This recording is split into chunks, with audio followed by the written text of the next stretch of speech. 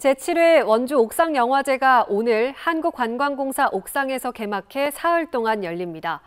강원 단편선과 옥상 단편, 옥상 장편, 특별 상영과 모두 밤샘 등 다섯 개 분야로 나뉘어 23편의 영화를 상영하고 내일 밤에는 모두 3편의 장편 영화를 밤새도록 상영하는 모두 밤샘 섹션이 원주 영상미디어센터 모두 극장에서 열립니다.